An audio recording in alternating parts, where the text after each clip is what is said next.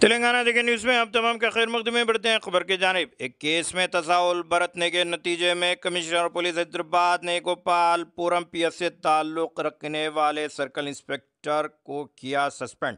बताया गया कि इंस्पेक्टर मुरलीधर के अलावा दीक्षित रेड्डी को भी सस्पेंड कर दिया गया। इस सिलसिले में तसाउल बरतने के नतीजे में ये कार्रवाई की जाने की तल्ला मौसू हुई है। अगर अभी तक आपने चैनल को सब्सक्राइब नहीं किया तो फौरी कल आलमी मुल्क रियासती मुकामी खबरों के लिए देखते रहिए आपका अपना चैनल तेलंगाना देखकर न्यूज़।